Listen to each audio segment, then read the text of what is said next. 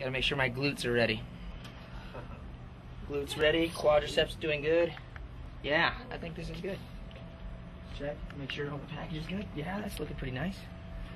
This is my stage outfit tonight. You can suck it.